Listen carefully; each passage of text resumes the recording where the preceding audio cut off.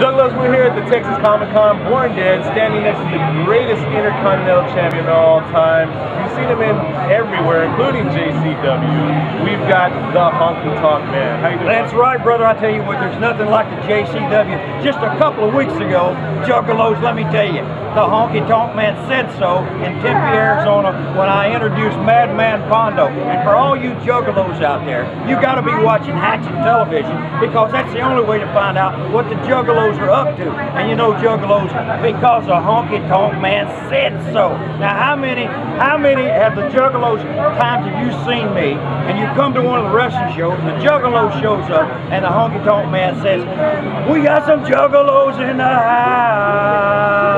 It's Hatchet Television, baby. It's the only way to find out what's going on with JCW, ICP, and the Hatchet people. Here in town. Check it out.